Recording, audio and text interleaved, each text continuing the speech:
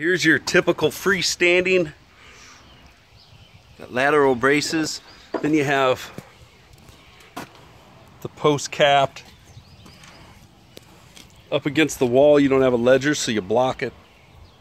You laser it in the tops of the posts.